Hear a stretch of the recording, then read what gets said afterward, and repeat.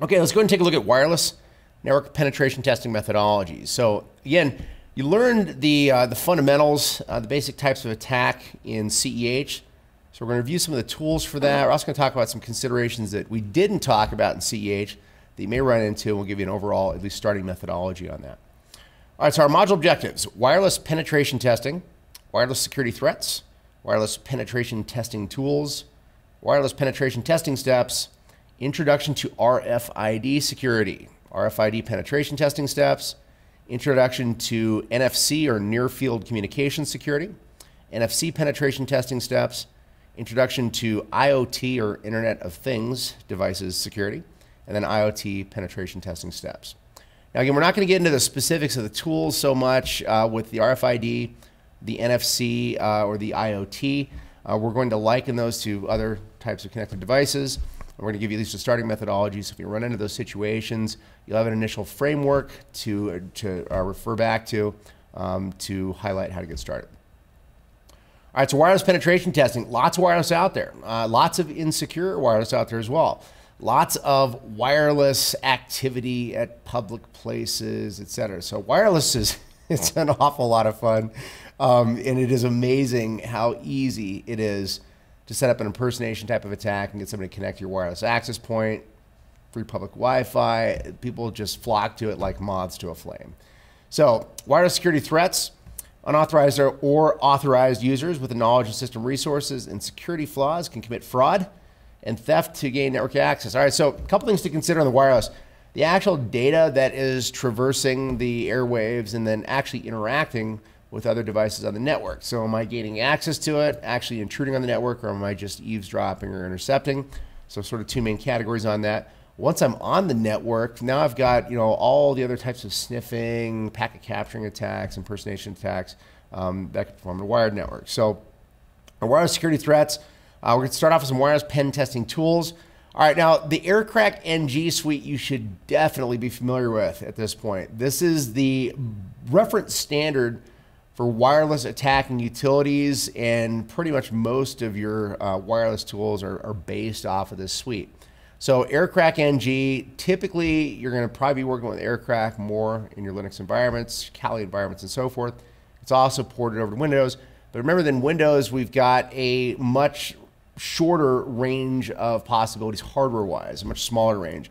Uh, very few uh, choices in the grand scheme of things as compared to like a Linux environment. So Generally in Windows, you're talking about a couple of supported chipsets, using like OmniPeek uh, or an AirPCAP adapter, uh, which definitely uh, is, a, is a useful piece of hardware. And um, you can use that in conjunction with Cain or AirCrack that is ported over to, uh, to the Windows environment, Elcomsoft, Security Auditor. A lot of those utilities require that. Get into the Linux side, we get a little more flexibility uh, and a lot of times, um, you know, a lot less costly. Uh, generally, an Alfa card uh, is, is, a, is a good choice. There's a couple versions of that, the, a, the uh, 036H, the NH, uh, and a couple other variations of that, but you can't go wrong with the Alfa card. But anyway, this AirCrack NG suite, you gotta, um, you should know this from CEH. Um, you can, you know, fire off the utilities individually. You can use like the Airoscript, which I like to use. Um, actually, I'll still use like a BT4 machine with Airoscript just because I like the interface that menu drives the whole thing. So you should be familiar with AirCrack NG and you should also be familiar with Kismet. Uh, so Kismet does a lot of different things, uh, but it is a fantastic discovery utility uh, without a doubt. And there are lots of site surveying utilities you can choose from.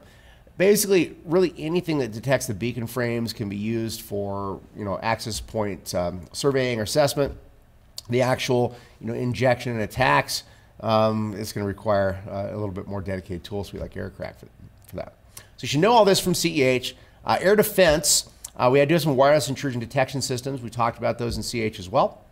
Uh, and then our wireless penetration testing steps. So you should know how to do all this from CEH. So again, we're going to go through um, the individual steps.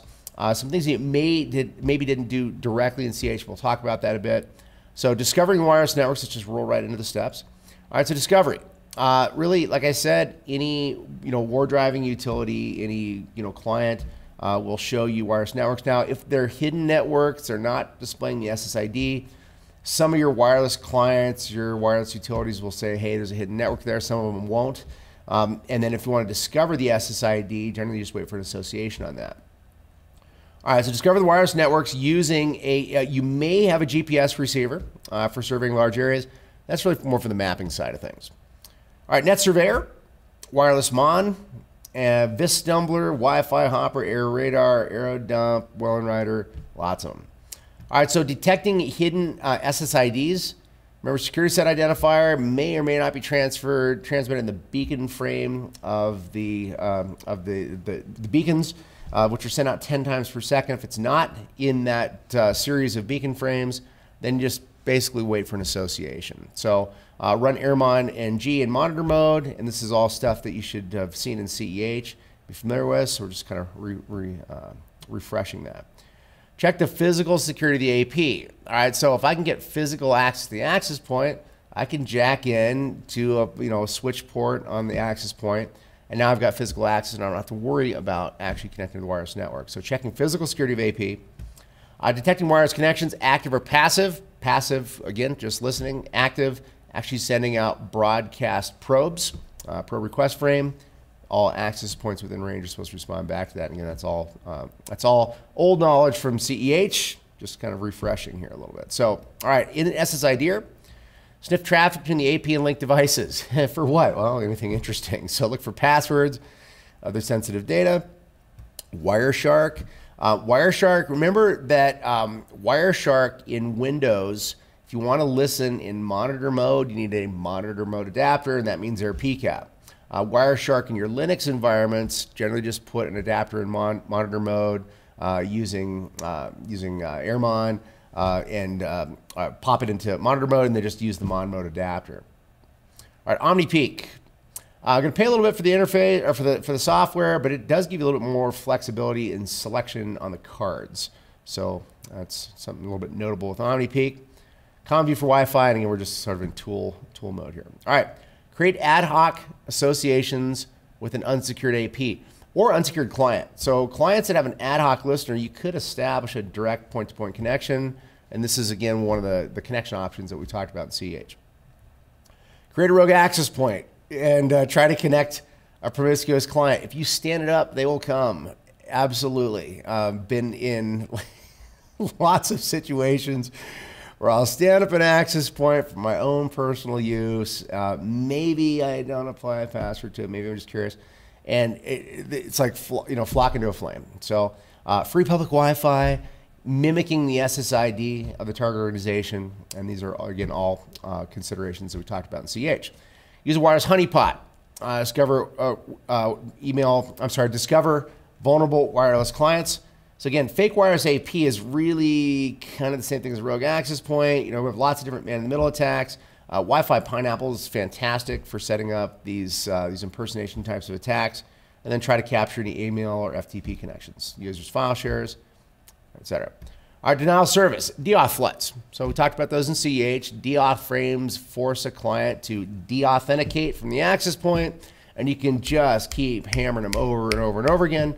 Sending those deauth frames, there's really not a lot you can do to stop that. Um, the uh, deauthentication attack uh, or deauth floods can be sent and just repeatedly kick them off. Now the clients will reassociate, but um, you know you just keep transmitting. Uh, you're impersonating the legitimate access point. So that definitely is kind of a unique flavor denial service for wireless. Rapid traffic generation. This is just referring to the injection of IVs using aireplay, typically to collect uh, an, a, a, a, sufficient number of interesting IVs to crack a WEP key.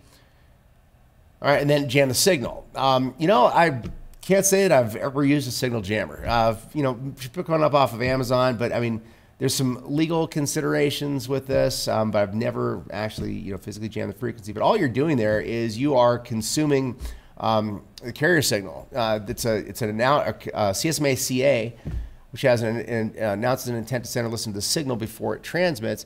Jamming the signal just sort of locks up and, and jams the frequency. So you can actually pick these up off of Amazon or, or other sites as well. So you may choose to jam the signal. Uh, Wi-Fi jamming devices. Okay, this should look a little familiar. It's a pretty similar slide to what we had in CEH. Uh, single packet decryption.